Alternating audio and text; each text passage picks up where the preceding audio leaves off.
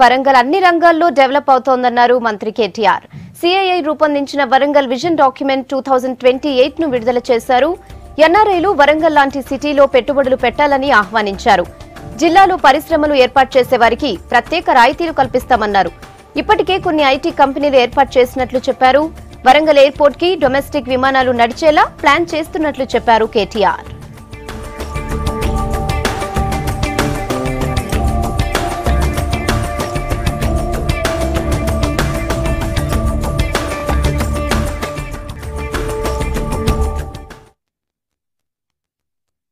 I'm also a strong proponent of giving special incentives for industry to go to the rural areas. So I would I would certainly want to create a strategy for that.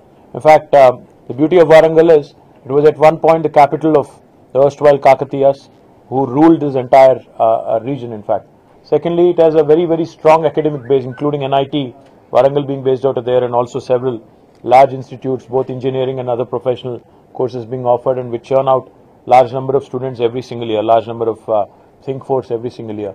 The other thing which is which works well for Warangal is the kind of uh, agrarian economy there is adjunct to it.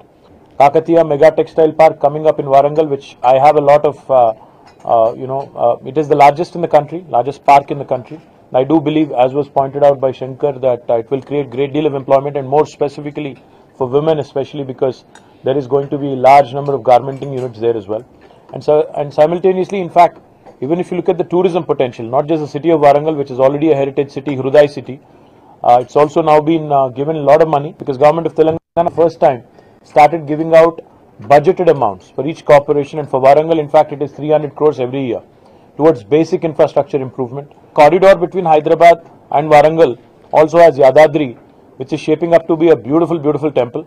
I think uh, we are spending nearly 400 crores and that that is going to be truly uh, one of its kind destination, especially with respect to religious tourism. I'm also looking forward to more and more Warangal NRIs actually coming back and setting shop. In fact, we are building a large uh, incubation center and a IT park there, and I do believe that uh, the demand is only going to grow in days to come. And as was pointed out, the airport in Warangal also, and hopefully something might come of it. And we are very keen to get the Warangal airport functional to the capacity of uh, being a full-fledged airstrip where people can come in, land, at least the domestic uh, flyers can come in directly and land directly in Warangal. Any potential investor can come directly to Warangal and not having to come down at a Hyderabad airport and then, uh, you know, go by rail or road.